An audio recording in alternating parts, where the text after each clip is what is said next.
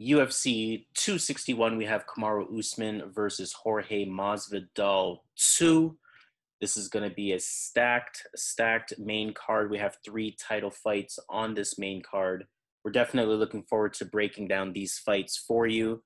Welcome to Boxing MMA Picks. Again, we're back with another one, giving you UFC breakdown, UFC fight by fight analysis, letting you know which fights are worth the odds, which fights you want to avoid, uh, underdog picks that are perhaps worth a shot. And hey, if you stick around to the end, you might even get some parlay action from us really looking at some juicy payouts from that perspective. We talked about the prelims already. We're going to get to the main card again Kamaru Usman versus Jorge Masvidal 2 being the main events of that one. Super stacked main card. We have five fights on this. And let's get right into fight number one. We have Anthony Smith versus Jimmy Crute. I'll start with my pick. I'm going Jimmy Crute all the way on this one and then I'll break down the fighters. When I look at Anthony Smith, of course, I mean we know that it's coming off of a win versus Devin Clark. Um, you know, realistically though, he's sort of one of those fighters where you got to ask yourself if he's done at this point. I mean, I know he's only 33 years old, but this is his 51st professional fight coming up. It's a lot of damage on the body, and he's facing a, a, a young contender who who has a lot to offer. Uh, when I look at Anthony Smith, I mean, decent, still to this day, still has decent movement around the octagon. Um, you know, has a decent right hand down the middle, usually happens after a jab. So really watch out for that, especially that he uses his jab pretty actively. Um, his stand up overall is still to this day pretty stiff.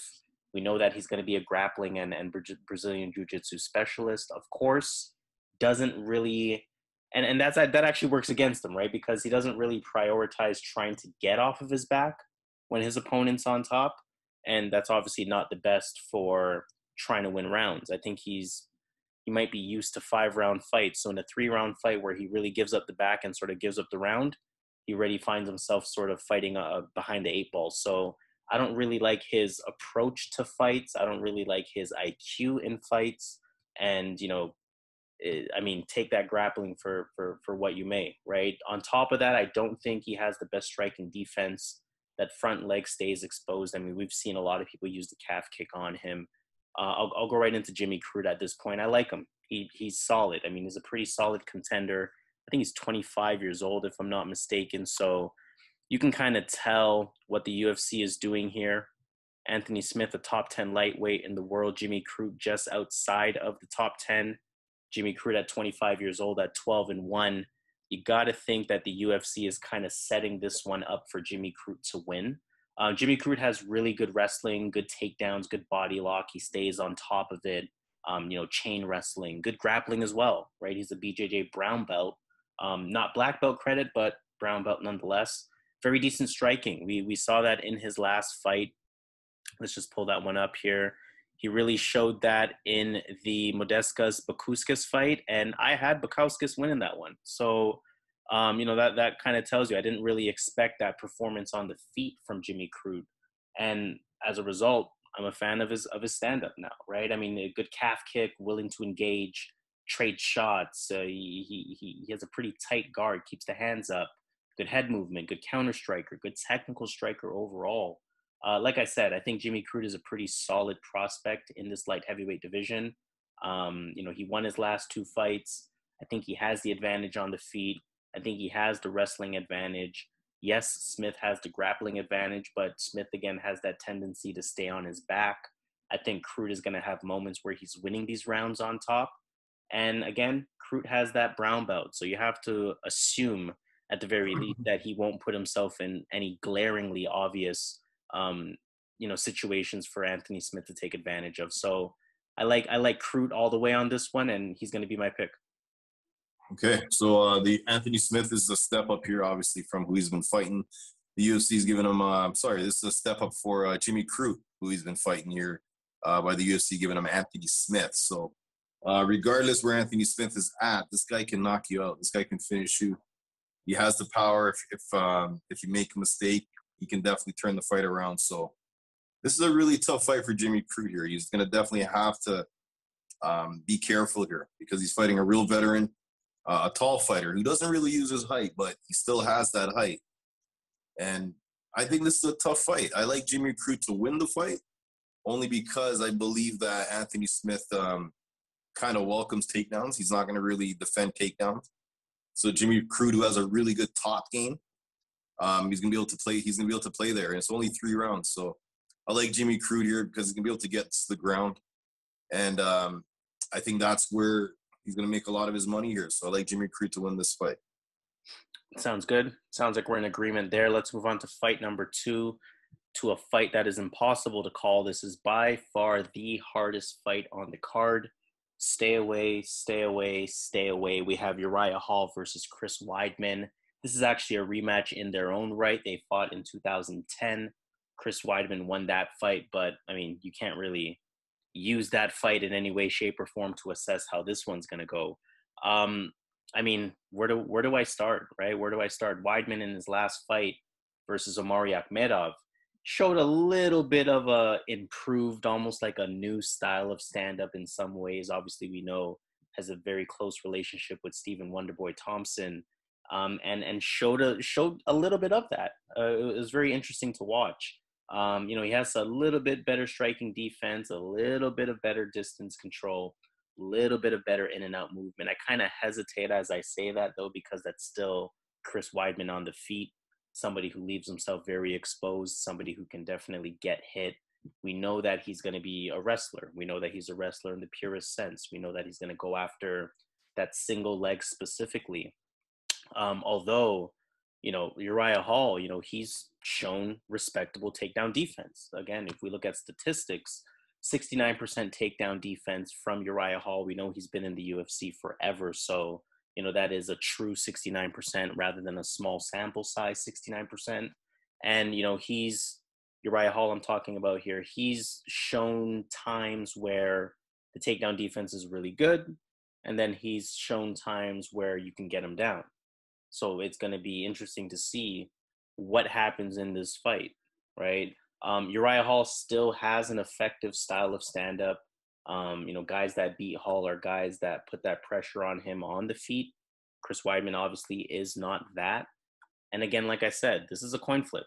This is this is a coin flip in the truest sense, except we're referring to two fighters that are now a little bit older, which adds even more of a coin flip element to it. I, I really don't know which direction to go in in this one. Um, I think you can make a case for for either fighter. They're both 36 years old. They're both, uh, you know, kind of on their their their last legs in their UFC careers. You put a gun to my head, I still don't know who to pick.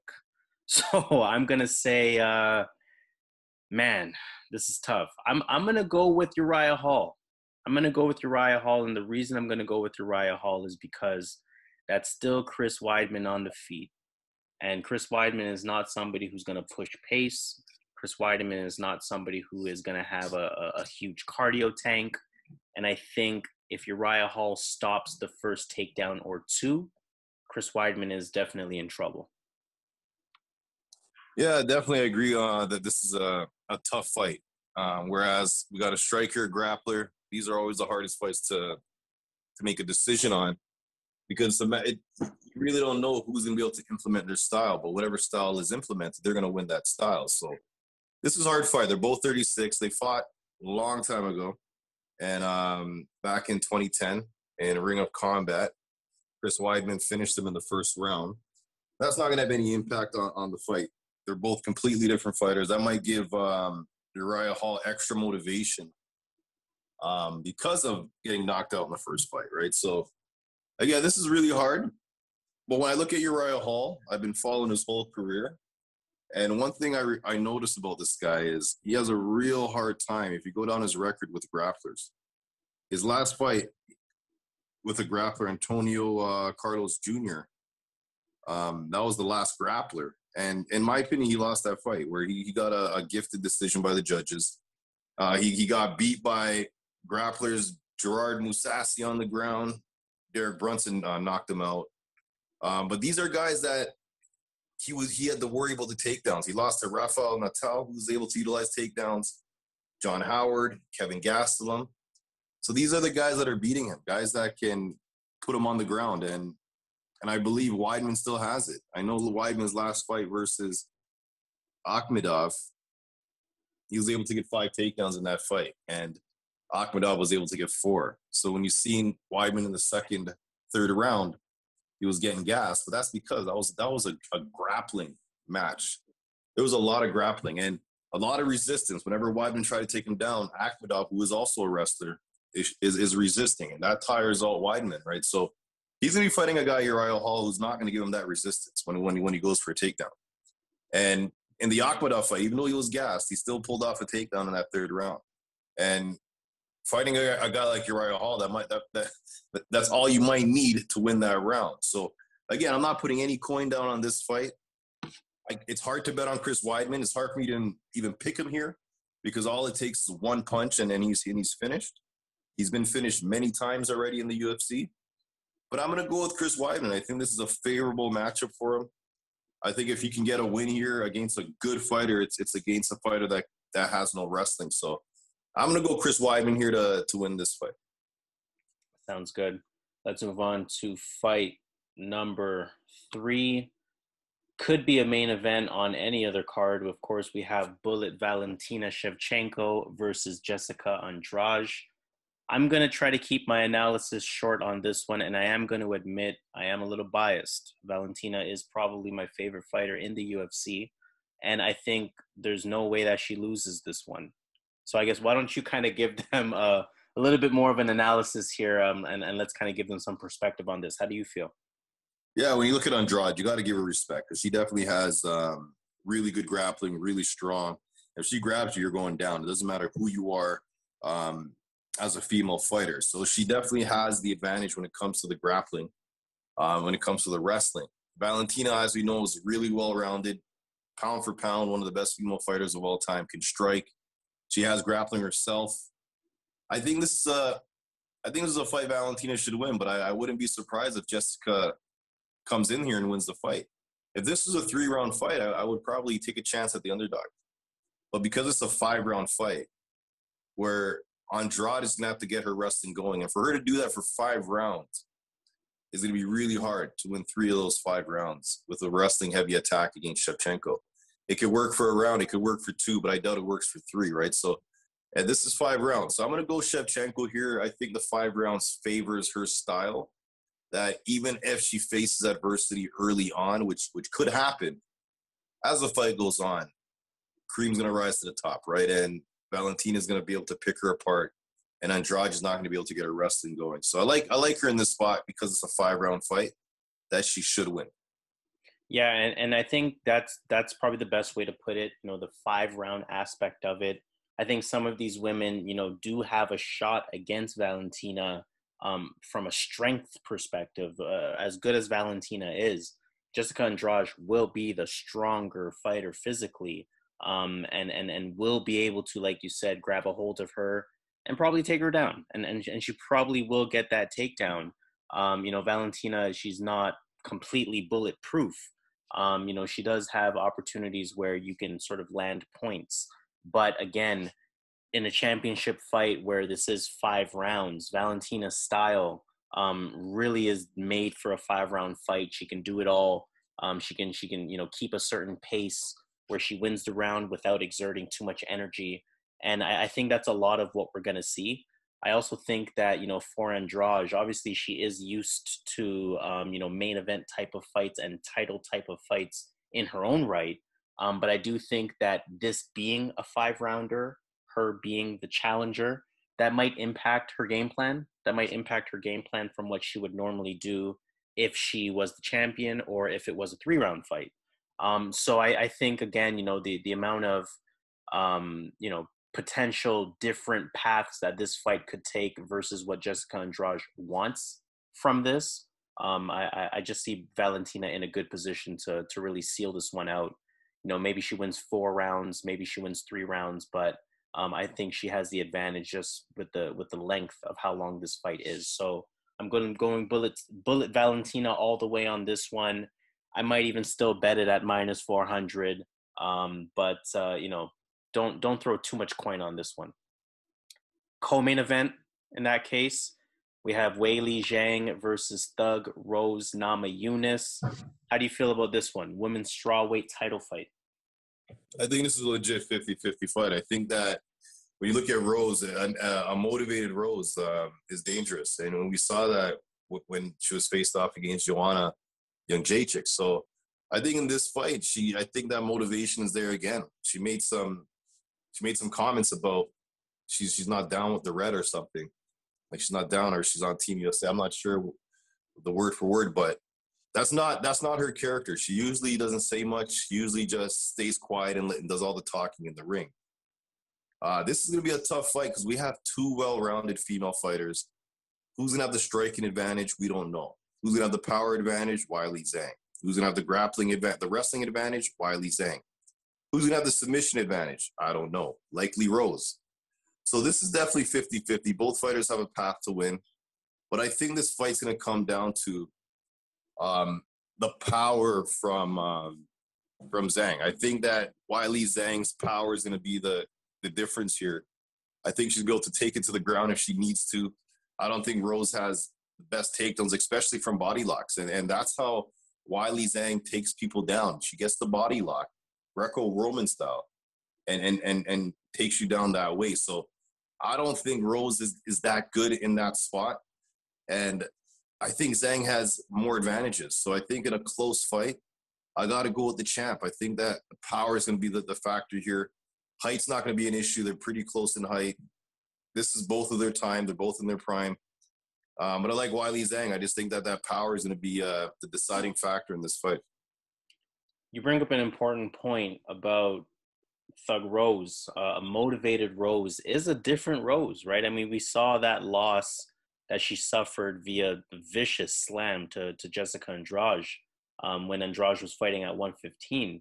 Um, or, or, or was Thug Rose at 125? I'm trying to remember that one. No, that was at 115. Yeah, that was that was for the champ championship. But um, they rematched obviously the following year, and Thug Rose pulled out a split decision win. Right? Uh, we go back to the Joanna fight.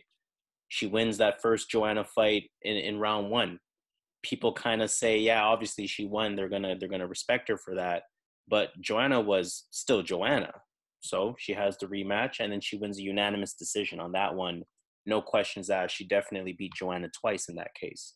So you know, a, a, a motivated Rose has that ability to have amazing performances, um, and that is always going to be an X factor in these type of fights. But to keep my analysis somewhat short on this, you've already mentioned everything that I would mention. Zhang Wei Li, you know, she has more advantages. She has, you know, more opportunity to win. Um, what's going to be interesting is going to see, you know, who has the advantage from the judge's perspective.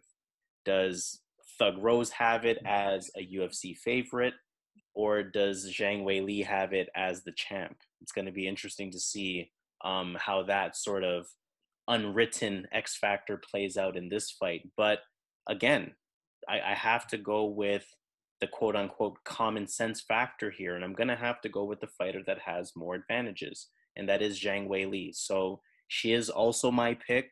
Um, I personally don't think this is a 50-50 fight. I would I would comfortably say it's a 60-40 fight in favor of Zhang Wei Li.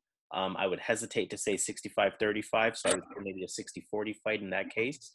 But I'm I'm liking the champ here, and, and I am liking the odds at minus 190. So I might take a stab here at Zhang Wei Li. Um, again, I think she has more paths to victory she's going to be my pick, and I might even put some dollars on that. In that case, let's move on to our main event of the evening Kamaru Usman versus Jorge Masvidal 2.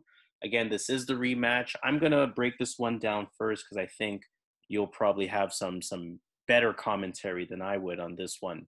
Um, I kind of don't see why this rematch is occurring. I think the UFC just needs a main event to happen um, Masvidal lost that first fight, and you know he uses the reasoning of a short training camp, taking it on short notice, and he did take it on very short notice. So I am going to have to respect that from him. But I don't see a different result with a full training camp. I think that's kind of the storyline that's being sold right now. Is what if Masvidal has a, a, a full camp Is Usman going to stand a chance? Uh, yeah, he will. I think we're going to see a lot of the same things that we saw in the first fight. I think this is almost going to be a carbon copy of the first fight. I don't think a full training camp is going to help Jorge Masvidal from stopping those takedowns, from Usman being Usman, chipping away, five round fight, win it how he wants to win it, and uh, you know really just pulling this one out with with relative ease. Obviously, Masvidal has the the, the puncher's chance, um, especially early in the fight. We've seen Usman get touched on the feet. We've seen Usman kind of be rocked on the feet. Um, Masvidal obviously has a lot better striking than a lot of other people, but again, I don't think he gets it done. Outside of a puncher's chance, I think Usman all the way on this one. Yeah, I don't think I don't think we need much of a breakdown. Just watch the last fight. Um, that excuse, Masvidal, you only had a week uh, to train for Usman. I, I agree. Yeah, your car, your body wasn't really up to par, but as a fighter, you, these guys um, should be in much better shape in between fights if, if that's an excuse, because this is your job. This is what you do, right? So, and you have to think every fighter in the welterweight division is, is already thinking of how can I beat Kamaru Usman, and I'm sure Masvidal has been thinking of this for years, or already he's been thinking about thinking about this since Usman got the title. How am I going to beat this guy? So he's been secretly preparing for this guy. Everybody is secretly preparing for Usman because he's the guy at the top, right? So Usman though was preparing for Gilbert Burns. Usman was only preparing for Gilbert Burns. That's who he was matched up with. And then they switched it last minute, obviously because of the issue with Usman, uh, Burns. Now he got Masvidal. So yes, it, it's it's definitely not helping Masvidal. He only had a week but it's not helping Usman that his opponent switched like that, right? So I think this fight's gonna be similar. I actually think Usman's gonna look better in this fight now that he had now that he's preparing for Masvidal, um, setting a specific training camp as far as um, game plan goes specifically for Masvidal. I just don't think there's anything he can do to to kind of get Usman out of there outside of a, a lucky shot, right? So I like Usman here. He's pretty good defensively, and he should be able to get this fight to the ground. And you might get a, I think you might get a finish this time. I think he's going to make it more decisive this time around. Yeah, and I, and I do think he's maybe a little bit motivated to get a finish as well. Kind of just shut up, shut up Jorge Masvidal in some way, right? So, um, yeah, I think again Usman sort of all the way on this one. I'm I'm pretty comfortable making that pick, and I'm pretty comfortable not really breaking that down any further. Let's take it to Vegas at that point. So, considering the entire card, uh, why don't we maybe give them a few favorite picks? Actually, you know what? Let's go underdogs first. Underdogs, considering the entire card. I don't know if there's anyone from the main card that you want to consider, or if you want to just kind of stick to what you had on the uh, prelim video. Which, by the way, if you haven't watched that, check out our prelim video right now. I think uh, Chris Weidman and Karl Roberson are some underdogs to look at. Yeah, so Weidman, uh, that that one's a pick'em technically. So both guys are kind of underdogs. So I'll definitely still include that. Karl Roberson, as we talked about before in the prelim video, he's a plus 110. Um, so you know, two potential underdogs that have a shot there. Um, if I were to take a look at some underdogs here, I don't think I'm really adding anything from the main card. Uh, so I'm gonna just sort of stick to. Well, I mean, I guess I'm going Uriah Hall, right? That's a pick 'em, so that would probably be an underdog pick to some degree. But I'm gonna kind of stick with what I had in the prelim video, and again, that is Tristan Connelly having probably the best shot to win as an underdog, especially as a plus 187 underdog um, versus Pat Sabatini. Again, I think he's just going to be the bigger fighter there, um, and and maybe have the strength advantage. So why don't we talk about some favorite picks, maybe even a parlay if you have one off the top of your head. But uh, at the All right, let's go. We got a few favorite. We got, we got Kamaru Usman, we got Valentina Shevchenko, and Jimmy Crute. yeah, that that that's exactly what I was thinking. So I think that's a that's it. That's the money. That's the money right there, right? So you look at those three fights, you get plus 134 on that. $100 is going to return $234 on that. For our bigger betters, $250 will return 585. I'm not even going to try to shake the snow globe on this one with it with with any other picks. I think these three are probably the most likely to, you know, perform the way they need to perform. Um, and I'm really liking that value there with with three fights at plus 134. So let's end it off in that case as usual. Please do all that algorithmic stuff, like our video, comment on our video, subscribe to our channel. Let us know how you feel about our picks. How do you feel about our underdog picks? How do you feel about our favorite picks? What do you think is going to happen in each of these championship fights? Do you think we're going to see any new champions? Um, is that Thug Rose fight, in fact, a 50 50 fight? Let us know how you feel in the comments. Let's have that good banter in there. And of course, we always welcome any sort of questions that you guys have about where you should be putting your money. Put those questions in the comments. We'll do our job in replying to that. And we'll even specify which one of us is is commenting and, and, and giving you a reply to the question that you have. Again, like I said, all that algorithmic stuff, we would definitely appreciate it. And in the meantime, we appreciate you guys watching this video as well as watching the prelims, assuming you watched that as well. Let's sign off in that case. This is Boxing MMA Picks. He goes by the name of Zan. I go by the name of Harris. This has been UFC 261, Kamaru Usman versus Jorge Masvidal 2. Let's get this money. Let's do it.